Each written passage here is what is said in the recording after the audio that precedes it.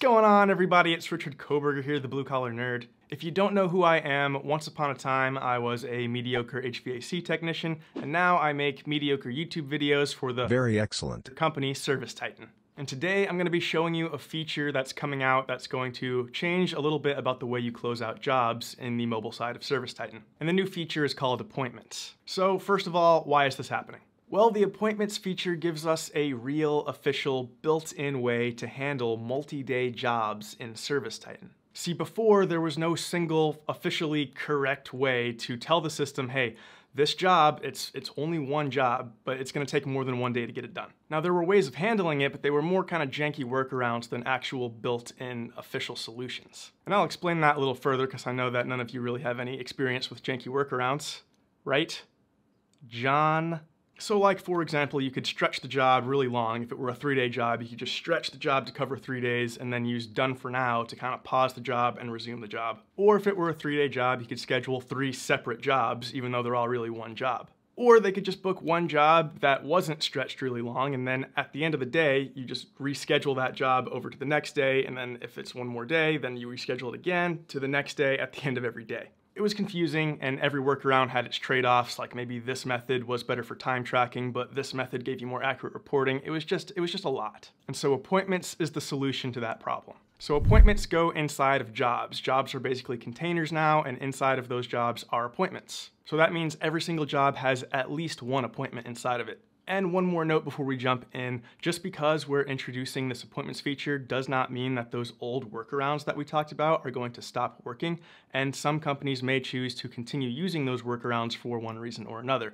So take your company's guidance on how to handle multi-day jobs within your company. All right, with all that said, let's jump into Service Titan and see what we've got. So for most companies, most of the time, the majority of your jobs aren't actually multi-day jobs. They're single jobs with a single appointment on them. So that's what I'm gonna show you first. Right now, I am dispatched and arrived on a single day job. Something to note real quick, when this release does go live for your company, you're going to get signed out of the mobile app. Meaning you'll have to sign back into the app, so you know if you haven't had to type your password in in six months and, and you don't remember what it is, you know, now's probably a good time to start trying to figure that out. But worst case scenario, there's that forgot password button. You tap that, it sends you an email. You, you know the deal. You've, you've forgotten a password before, you're a person. So at the top of the screen here, I see I've got this blue banner, and it's telling me that when you're ready to leave the job, use the closeout in the bottom left corner of the screen. The previous done for now and finish options have been moved there. So yeah, down here in the corner of the screen, I've got this new button that says close out. And if I tap on that, I'll get this screen with a few options. So at the top of the screen, I just get some information about this job. So it tells me my remaining appointments on this job, meaning if there's any more appointments that I'm assigned to, it would tell me that there. The total remaining number of appointments on this job, whether I'm assigned to them or not, and the remaining technicians that are on this appointment right now, which is currently just me. But if there were another tech on this job with me, then their name would be there as well. Then I've got a couple of choices under advanced options. So the first one is pause this appointment. That's done for now. It's been renamed pause. Now the main purpose of this option is for short same day trips, like, hey, I'm just gonna go to the supply house and I'll be back in like an hour or whatever. Some companies may choose to use it a little bit differently, so take your company's guidance on that.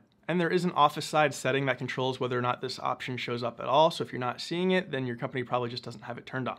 Under that, we have another option that says I need another appointment scheduled. Now, depending on what office side settings your company has turned on, different options may appear for you when you tap on that. Or if none of those settings are enabled, then that option just wouldn't show up for you at all. Let me show you what I mean. So for demonstration purposes, I, I have all of the settings enabled for myself. So when I tap on I need another appointment, I get three options underneath that. One option is to place the appointment on hold. Hold is like a more long-term pause. Most companies don't use this option, but some do, so take your company's guidance on when to use that one. The middle option is I will schedule another appointment. And choosing that gives me, as the technician, the option to go ahead and schedule the next appointment myself. Again, most companies choose to leave the scheduling up to the office, so you might not see that one, but maybe uh, if you're on call or something, your company might choose to enable that. And the next option, which is probably the most common, that's notify the office that I need another appointment. So if I select that, I got this text box here where I can explain my reasoning as to why I need another appointment. And back in the office, that's gonna put like a red box around the job. It'll show your reasoning there. And if your company chooses, they can also set up an alert so that anytime a technician uh, chooses this option, then it's going to send a text and or email to whoever they choose. All right, I'm gonna back out of that. And then down here under job options, I only have one option, which is complete the job. Now right now that's grayed out for me. It's not gonna let me do that. And if I click into it, it'll tell me why. So I can see here, it's because I haven't collected my signatures yet. So I'll just go ahead and do that real quick. All right, now if I go back to the closeout screen, I see that I can in fact complete the job.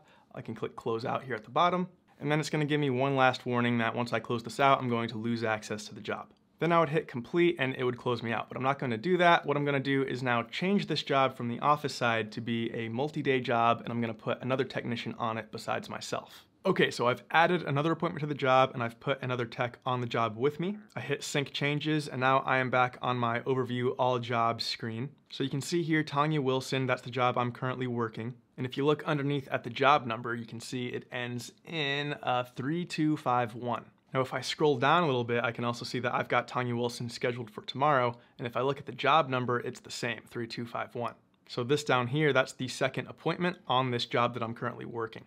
All right, back in on the job. Now if I click close out, I should have some different options. Yeah, so now here at the top, I have this new section called appointment options. And if I tap into that, I have some options within it. So I can mark only myself done on this appointment. So now there's two techs on this job, right? Me and somebody else. So I can say, I'm gonna mark only myself as done. I'm gonna bounce, the other person's gonna stay. Or underneath that, I can mark the appointment as done, meaning I'm marking the entire appointment as done for everybody. Me and the other person will both be marked finished. Now that option, marking the entire appointment as done, I only have because I am marked as the lead technician on this job. That's something set up from the office side. So if I wasn't lead technician, I would only be able to mark myself as done. Then I've got the pause appointment and need another appointment scheduled options that we already talked about. And if you'll notice, I still have the option to complete the job. Now this is where you could mess up, so if I've lost you at any point, if you know if you're scrolling through your phone right now, checking Facebook, seeing who went home on The Bachelor last night, John, then bring it back, this part's really important. At the top here, I see that there is one remaining appointment on this job. If I do this down here, if I complete the job, I'm completing the entire job, the job and all of the appointments within it. The only reason I would do that is if we got finished early. We were expecting this to be a two-day job, we got it done in one, we're closing out the entire job. But if there's still work to do tomorrow, do not close out the entire job. You want to mark only the appointment as done. Now, if you do mess up and you close out the job when you meant to close out just the appointment, it's not the end of the world. The office can undo it, but you know, then you're on the shit list when it's time to schedule the next jobs. You, you, know how it goes when you get on the office's bad side. Just just don't do that. If, if there's still appointments that need to be done, close out only the appointment. Don't close out the entire job.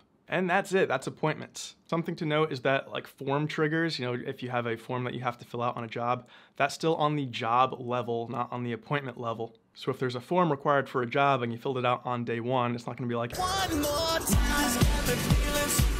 on day two. Same thing with like your invoice summary, any estimates you build, any uh, pictures you take and attach to the job. Those are all on the job level, so you don't have to redo it every new appointment. As far as when this is coming out, it is live now in training mode, so that's how I'm showing it to you. I was just in training mode there. So if you wanna work with your company to kind of book you some fake jobs and you can play around with it a little bit, wouldn't be the worst idea. As far as the live accounts go, it's being rolled out in batches, so not every company is gonna get it all at the same time. But your company admins will get emails to let them know when this is about to go live in your account. And again, when this does go live, you're gonna get kicked out of the mobile app, so make sure you know your password. Anyways, that's all I got for today. If you like the way I explain things, I am the Blue Collar Nerd. You can find me on YouTube as the Blue Collar Nerd, or you can find a lot of my videos on the official Service Titan YouTube channel. So if you would please subscribe to both of those, it would mean a lot to me. Appreciate it. Peace.